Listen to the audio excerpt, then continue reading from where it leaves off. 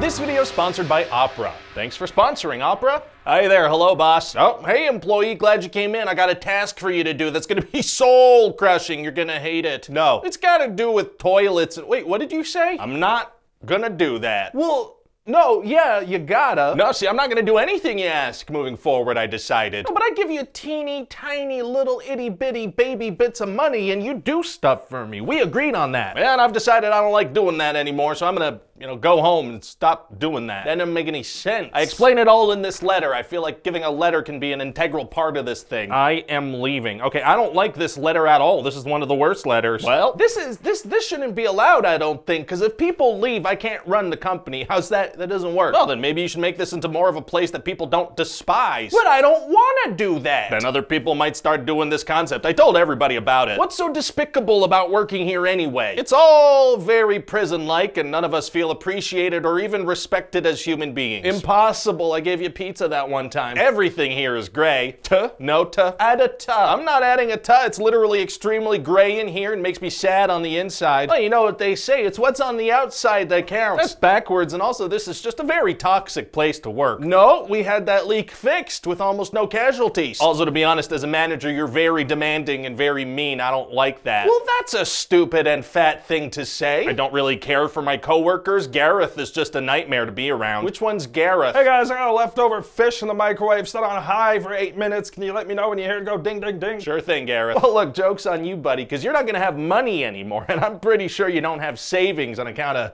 you know, how little I pay you. Well, see, actually, I was approached by somebody who called himself a headhunter. yeah, I was terrified too at first, but turns out he wants me to go work somewhere else where they'll give me money. What's so great about this other place? Well, they actually have a really cool office culture over there. What does that even mean? Oh, ho, one foosball table in the break room. Holy f that does sound good. Well, well, geez, man. So you're saying I gotta start treating employees nicer or they're all gonna do this? That's not a bad idea. Bah. Can you at least give me a bit of time to find a replacement? You're kind of springing this on me. Sure. Yeah, okay, how about two weeks a notice? That's fine, and I'll be rude the whole time and make you feel guilty any chance I get. What? Listen, let's be real for a second, okay? How much pizza is it gonna take to get you to stay? One large pepperoni. Really? No. Ah, you clever bastard.